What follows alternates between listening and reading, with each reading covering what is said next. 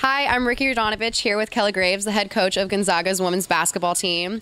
So, if some of you didn't know, we actually have a connection to Coach Graves, where our head coach, Coach Mountain, used to coach for and play at Gonzaga. So, can you tell us any funny stories about JMO? Oh, funny stories. Well, I'll tell you what, I, I, I will tell you this. She carried me for about seven years, all right? She was the brains of the operation. I obviously was the beauty.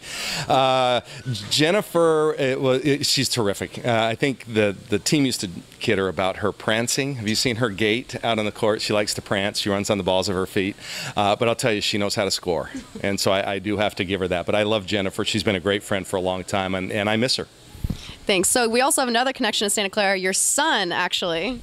You know, for years, Santa Clara was the school that you know you, you wanted to like dislike and, uh, and then once jennifer got there then I softened up a bit. And now that my son Max is a freshman uh, on the baseball team, uh, I've gotten to know Santa Clara a little bit, and, and I love the place. It, it's beautiful. It's great. The people there are wonderful, and, and he's having a good time. I mean, he's typical freshman, right? Struggling with the homesickness a little bit, uh, but he's going to do fine. I think he has a great future. So, Santa Clara, take good care of that guy.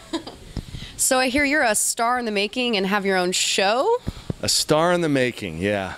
Uh, uh, no. if, if I'm on a show, it better be radio because, let's face it, I don't have much to work with. Um, we are hopefully starting the Kelly Graves uh, basketball show this year, so we're looking forward to that. It should be a lot of fun.